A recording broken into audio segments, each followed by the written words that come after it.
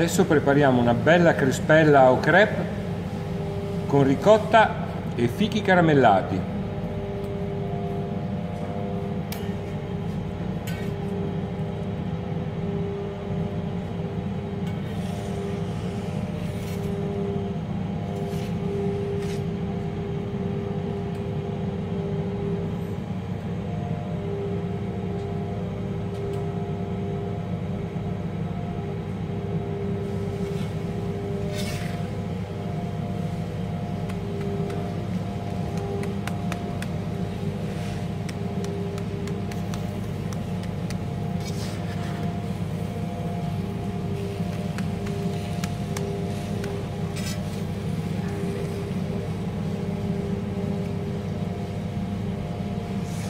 Ecco qua, la nostra crispella è pronta.